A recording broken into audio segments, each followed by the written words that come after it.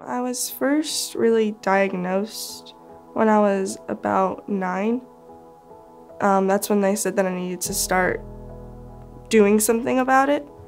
And then um, we didn't really do much until I was 12. And at that time, my degrees in my curve had gotten to in the 40s.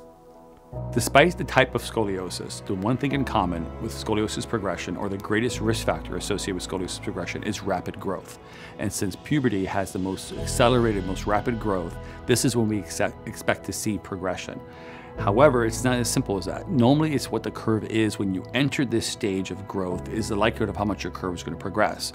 So the bigger the curve is when you enter puberty, the more likely your curve will worsen. So therefore, our goals are always to reduce the curve, get it as small as we can get it before puberty happens. So therefore, the risk of progression is much less.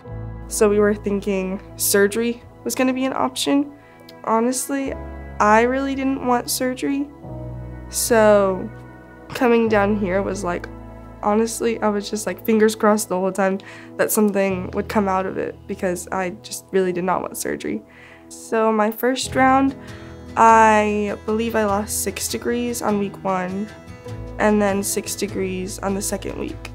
It was a lot of reduction. Originally, when I was young, it didn't really impact my life um, until I was 12. And then like coming here, then wearing a brace was my entire life really after that. Because I wear it about, now I wear it about 21 hours, but originally I was in it for 23 hours a day for two years. So it was a lot, especially with the sports I had going on and just normal everyday things.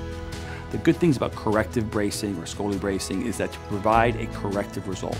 So since we're using the brace to actually push on the body and the spine to remodel the torso, like we see with Lucy, it's also used for a reductive manner. So we can use the brace outside of this that limited scope. We can use it when they're younger, we can use it when the curve is smaller, we can use it when the curve is bigger, we can use it when they're even done growing, because we're using this in combination with other treatments to get the curve to actually reduce and get better.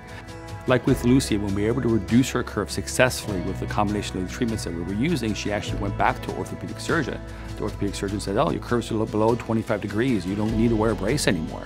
And the parents and Lucy and myself said, no way, because we realized or they understood that keeping constant pressure on the scoliosis and as we're using it as a corrective tool, even trying to reduce the curve less than it was, was a, still a goal.